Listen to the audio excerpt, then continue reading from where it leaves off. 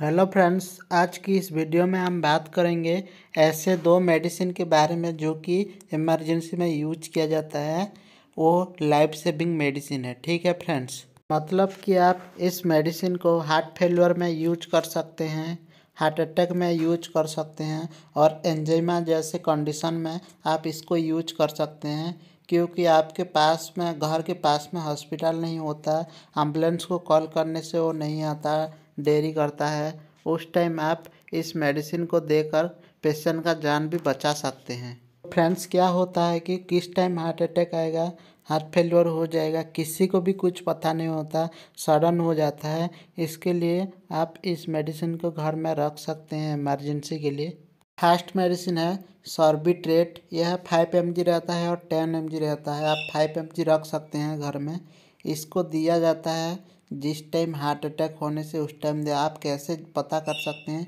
Patient के left side में pain होगा, हार्ट की जगह चेस्ट में बहुत ज़ोर से पेन होगा, उस टाइम इस टैबलेट को दिया जाता है।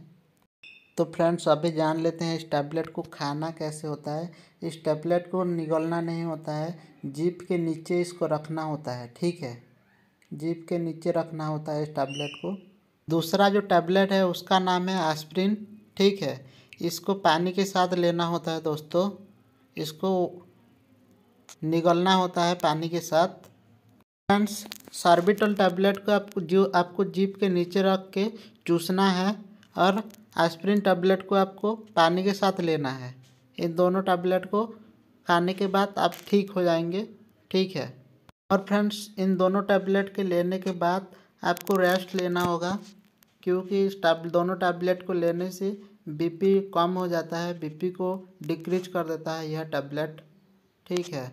और उसके बाद आप अपने, आप, आपको अपने डॉक्टर को दिखाना होगा, ठीक है? डॉक्टर के पास ज़रूर से जाना, ठीक है दोस्त?